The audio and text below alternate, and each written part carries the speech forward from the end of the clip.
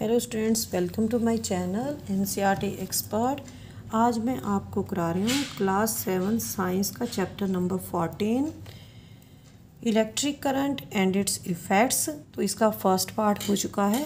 आप इसका पहले फ़र्स्ट पार्ट देखेंगे, उसके बाद आप इसका सेकेंड पार्ट देखेंगे। आज मैं आपको कराऊँगी heating effect of electric current तो इस चैप्टर का नाम है electric current and its effects तो इलेक्ट्रिक करंट हम कर चुके हैं। अब हम देखेंगे इसके क्या क्या इफ़ेक्ट्स होते हैं। तो फ़र्स्ट इफ़ेक्ट है हीटिंग इफ़ेक्ट इलेक्ट्रिक करंट से हीटिंग इफ़ेक्ट भी होता है। तो इसके लिए हम एक एक्टिविटी देखेंगे। एक्टिविटी करके देखेंगे और हमें कन्फर्म हो जाएगा कि इलेक्ट्रिक करंट से हीटिंग इफ़ेक्ट होता है। Take an electric cell bulb switch and connecting wires make an electric circuit as shown in figure fourteen point nine this activity has to be done using only one cell इसके अंदर आपको केवल एक ही cell की requirement होगी। And keep the switch in the off position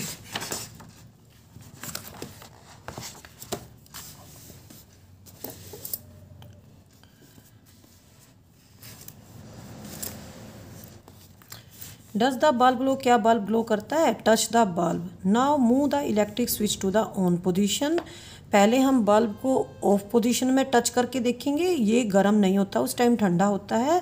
उसके बाद हम इलेक्ट्रिक स्विच को ऑन कर देंगे and let the bulb glow for a minute और बल्ब को हम एक मिनट के लिए ग्लो होने देंगे। अगेन टच द बल्ब अब हम बल्ब को टच करके देखेंगे। Do you feel any difference अब ये गर्म हो जाता है। After moving the switch back to the off position touch the bulb again अब हम दोबारा से स्विच को ऑफ़ पोजीशन में ले आएँगे। और बल्ब को टच करके देखेंगे तो ये दोबारा से ठंडा हो जाता है। एक और एक्टिविटी करेंगे जिससे हमें कंफर्म हो जाएगा कि इलेक्ट्रिक करंट का हीटिंग इफ़ेक्ट होता है। Make a circuit as shown figure तो हमें ये फिगर दी गई है। इसके अंदर हमें क्या क्या चाहिए? इसके अंदर हमें एक निक्रोम वायर चाहिए। ये निक्रोम वायर है टेन सेंटीमीटर लॉन्ग है और इसको दो नेल्स के बीच में बाँध रखा है। यहाँ पे वन सेल की बैटरी है। ये यहाँ पे स्विच है। Take about ten centimetre long piece of nichrome wire and tie it between the nails हमें एक दस सेंटीमीटर निक्रोम वायर चाहिए और इसको नेल्स के बीच में बाँध देना है। आप निक्रोम वायर कहाँ से मिलेगा आपको निक्रोम वायर तो ये कोई इलेक्ट्रिक रिपेयर शॉप होगी या तो वहाँ से मिल जाएगा आपको। या कोई आपका जैसे पुराना इलेक्ट्रिक हीटर पड़ा है तो उसके अंदर जो कॉयल होती है ना, उसका आप छोटा सा पीस ले सकते हैं। नाउ इलेक्ट्रिक करंट हम फ्लो करेंगे इसके अंदर। ठीक है? तो क्या होगा? ये वायर जब इलेक्ट्रिक करंट फ्लो करेगा तो ये वायर थोड़ा सा गर्म हो जाएगा, क्योंकि इसके अंदर क्या है, जब इलेक्ट्रिक करंट फ्लो होता है तो वायर गर्म हो जाता है हीटिंग इफ़ेक्ट शो करता है electric current don't hold it for a long time हमने इसको ज़्यादा लंबे समय तक होल्ड नहीं करना है। Switch off the current touch the wire again after a few minutes अब हम वायर को कुछ दिनों कुछ मिनट्स के बाद टच करके देखेंगे। वायर गेट्स हॉट वायर बहुत ही गर्म हो जाता है। आपको क्या क्वेश्चन लेनी है इस एक्सपेरिमेंट में? Don't keep the switch in the on position for a long time हम स्विच को काफ़ी लंबे समय तक ऑन पोजीशन में नहीं रखेंगे। Otherwise the cell may become weak very quickly नहीं तो जो ये सेल यूज़ किया आपने, ये वीक हो जाएगा। तो क्या होगा, जब इलेक्ट्रिक करंट पास करेंगे तो जो निक्रोम वायर है, ये गर्म हो जाता है। हम इसको हाथ लगा के देखेंगे, ये बिल्कुल गर्म हो जाएगा। This is the heating effect of electric current ये शो करता है कि इलेक्ट्रिक करंट का हीटिंग इफ़ेक्ट होता है। Can you think of any electric appliance where the heating effect of the electric current is use क्या आप कोई इलेक्ट्रिक एप्लियांस का नाम बता सकते हैं जिसके अंदर हीटिंग इफ़ेक्ट होता है इलेक्ट्रिक करंट का? Make a list of such appliances हमें एक लिस्ट बनानी है इन सारे एप्लियांसिस की। You might have seen an electric room heater और an electric heater use for cooking आपने एक रूम हीटर देखा होगा और एक इलेक्ट्रिक हीटर जिस पे खाना बनाया जाता है, वो देखा होगा ये दिखा रखा है फिगर में। All this contain a coil of fire इन सब के अंदर एक कोयल होती है इस तरह से। इसको हम क्या बोलते हैं? एलिमेंट बोलते हैं। You may have notice that when this appliances are switched on जब हम इन एप्लियांसिस को स्विच ऑन करते हैं तो क्या होता है? एलिमेंट्स बिल्कुल रेड हॉट हो जाता है और इससे हीट निकलती है। देख रहे हैं आप इसमें? रेड हॉट हो जाता है ये एलिमेंट और इसमें से हीट भी निकलती है। बुजो could not see element in electric iron तो इलेक्ट्रिक आयरन जो होते हैं, जो हम कपड़ों पे प्रेस करते हैं तो उसके अंदर भी एलिमेंट होता है। जो इलेक्ट्रिक आयरन होती है, और भी एप्लियांसिस होते हैं इमर्शन हीटर्स हैं हॉट प्लेट्स हैं गीज़र हैं केटलीज़ हैं हेयर ड्रायर्स होते हैं। ये सारे heating effect of electric current इस प्रोसेस पर ही वर्क करते हैं, और इन सब के अंदर एलिमेंट्स होता है। क्या आपने कभी किसी एप्लियांस के अंदर, किसी की चीज़ के अंदर एलिमेंट देखा है? ये हमें बाहर से नहीं दिखाई देता। अगर हम इसको खोलते हैं तो इसके अंदर हमें एलिमेंट दिखाई देता है। यहाँ पर एक प्रेस का, नीचे का पार्ट दिखा हुआ है, दिखा रखा है और इसके अंदर ये एलिमेंट दिखा रखा है। इसके अंदर ये सारा इसका एलिमेंट है।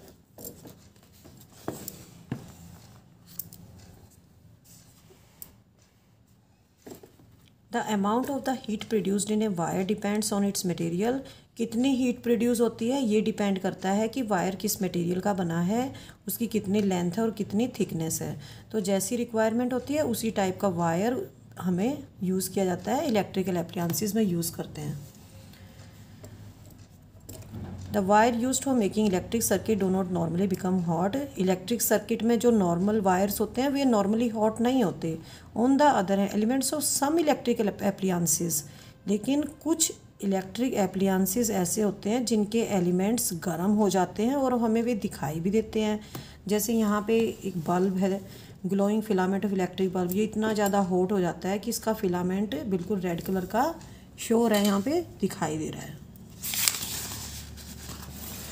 The filament of the electric bulb gets heated to such a high temperature that it starts glowing जो इलेक्ट्रिक बल्ब है, उसका फिलामेंट इतना ज़्यादा गर्म हो जाता है, इतना ज़्यादा टेम्परेचर बढ़ जाता है कि ये ग्लो करना शुरू कर देता है।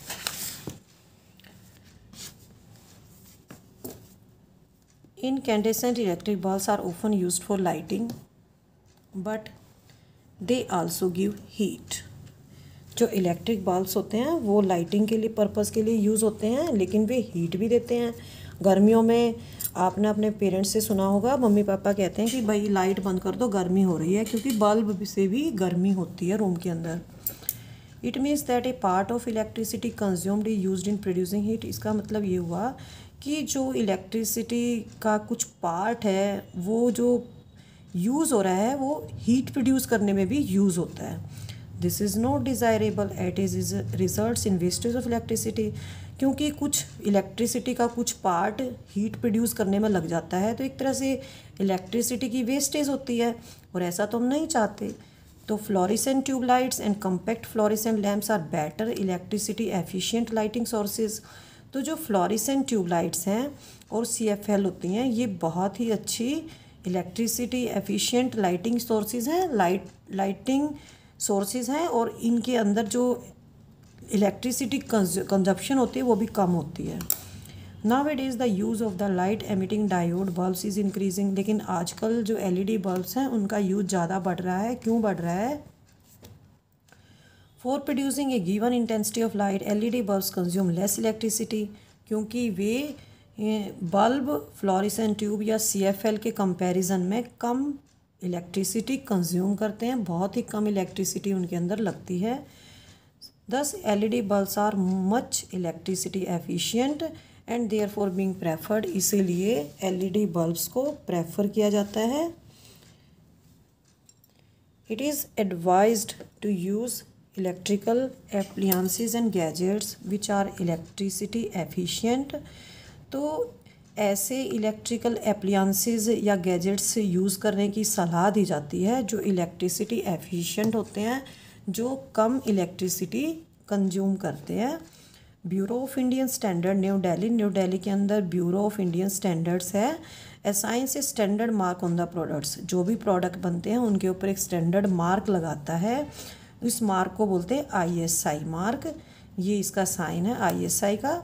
Which is an assurance of conformity to the specifications given on the products वो एश्योरिटी देता है कि जो प्रोडक्ट के ऊपर स्पेसिफिकेशंस हैं, जो प्रोडक्ट की क्वालिटीज़ बताई गई हैं, वो उनकी एश्योरिटी देता है कि ये जो क्वालिटीज़ हैं, ये इस प्रोडक्ट के अंदर हैं। It is there for suggested to use I S I mark products इसलिए सजेस्ट किया जाता है कि आई एस आई मार्क वाले ही प्रोडक्ट्स को यूज़ करें।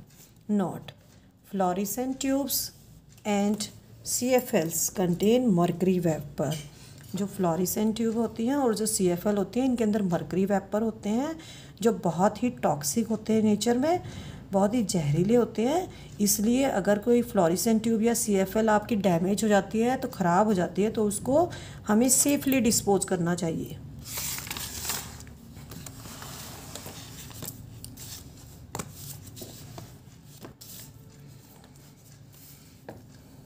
If a large current passes through a wire, the wire may become so hot that it may even melt and break. अगर किसी वायर में से ज़्यादा करंट फ्लो करता है तो वायर इतना गर्म हो जाता है कि मेल्ट होके टूट जाता है तो इसके लिए हम एक्टिविटी 14.4 करेंगे make the circuit we use for activity 14.3 जो मैंने 14.3 में एक्टिविटी में यूज़ किया ये, यही सेटअप हमें यूज़ करना है। सिर्फ़ डिफरेंस इतना आएगा कि उसके अंदर यहाँ पे एक सिंगल सेल है, वहाँ पे हमने फोर सेल्स को यूज़ करना है। ठीक है?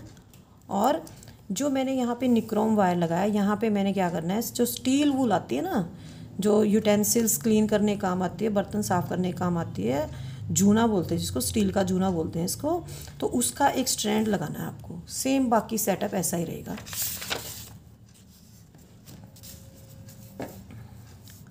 पढ़ के सुना देती हूँ आपको।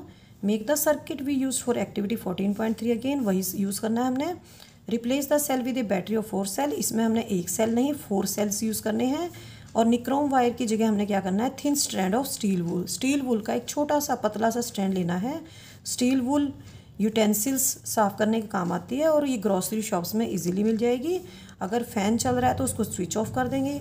Now pass the current through the circuit for some time अब हम करंट फ्लो करेंगे सर्किट के अंदर और स्टील वूल को ध्यान से देखेंगे क्या होगा।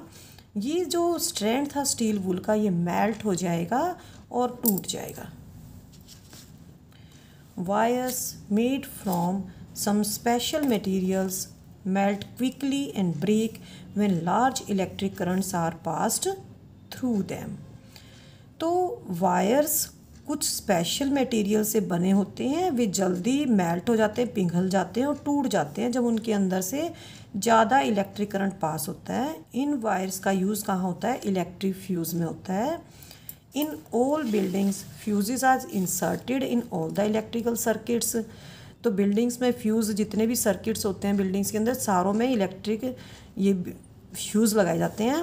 There is a maximum limit on the current which can safely flow through a circuit एक लिमिट होती है मैक्सिमम लिमिट करंट की, जो सर्किट में से सेफली फ्लो कर सकती है। If by accident the current exceeds this safe limit the wires may become overheated अगर बाई एक्सीडेंट बाई चांस किसी भी कारण से अगर ये करंट सेफ़ लिमिट को क्रॉस कर जाता है सेफ़ लिमिट से बढ़ जाता है तो क्या होता है? वायर बहुत ज़्यादा गर्म हो जाते हैं ओवर हीटेड हो जाते हैं और इससे आग भी लग सकती है। If a proper fuse is there in the circuit अगर सर्किट के अंदर कोई अच्छी क्वालिटी का फ्यूज़ लगा हुआ है तो ये क्या होगा? ये उड़ जाएगा, इसका जो वायर है वो मेल्ट हो जाएगा, टूट जाएगा और सर्किट भी हमारा ब्रेक हो जाएगा। तो क्या है fuse fuse is a safety device which prevents damage to the electrical circuits and possible fires जो इलेक्ट्रिक सर्किट्स को डैमेज होने से बचाता है और आग भी, आग से भी हमारी मतलब रक्षा करता है, आग को भी लगने से रोकता है। Never try to investigate an electrical fuse connected to the mains अगर आपको फ्यूज़ देखना है तो आप कहाँ जाएँगे? कोई इलेक्ट्रिक रिपेयर शॉप है, वहाँ पे जाएँगे। आप यहाँ पे अपने आप, अपने घर के फ्यूज़ निकाल के नहीं देखेंगे। तो आपको रिपेयर शॉप पे जाना है और वहाँ आप जो जल गए हैं फ्यूज़ और जो नए हैं, उनको कंपेयर करके देखना है। तो करंट क्यों आ जाता है? एक्सेसिव करंट लार्ज करंट क्यों फ्लो करता है? तो एक कारण तो ये होता है भी जो वायर्स होते हैं, उनके ऊपर का जो प्लास्टिक होता है ना, वो उतर जाता है पुराने होने के बाद और वे वायर आपस में टच कर जाते हैं। This may cause short circuit इसकी वजह से शॉर्ट सर्किट हो जाता है।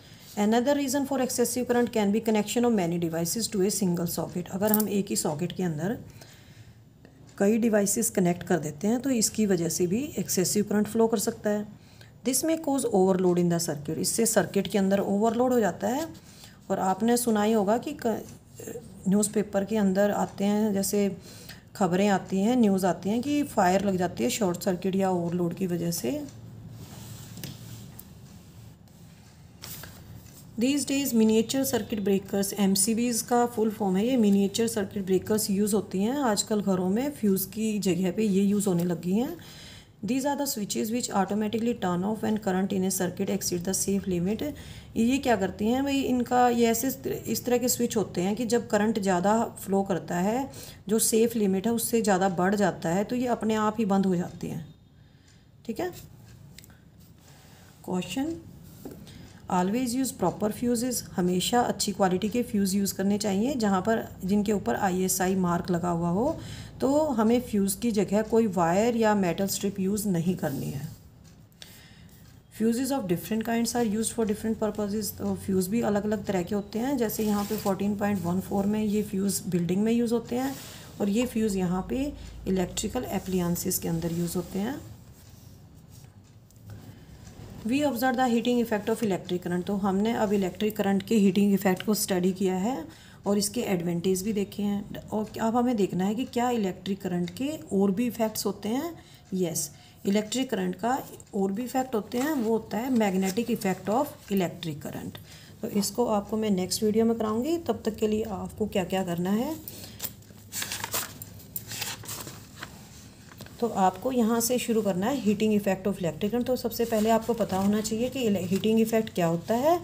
Heating effect of electric current क्या होता है? वायर के अंदर से अगर इलेक्ट्रिक करंट फ्लो करते हैं तो वायर हीट हो जा गर्म हो जाता है बिकम्स हॉट और इसको बोलते हैं हीटिंग इफ़ेक्ट तो यहाँ पे ये दो एक्टिविटीज़ हैं, जिनके द्वारा मैंने heating effect of electric current आपको समझाया है।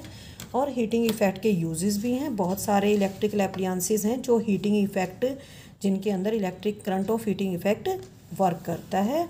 और यहाँ पे मैंने कंपैरिजन कराया है कि कौन सा यहाँ पे सुपीरियर है इनमें। नेक्स्ट कराया मैंने आपको फ्यूज़ फ्यूज़ का क्या पर्पज़ है और फ्यूज़ क्या होते हैं? इलेक्ट्रिक सर्किट को डैमेज होने से बचाते हैं फायर्स को भी रोकते हैं। मिनिएचर है, आजकल ये यूज़ होते हैं। Miniature circuit breaker M use होती हैं। नेक्स्ट टाइम मैं आपको कराऊँगी magnetic effect of electric current thank you बच्चों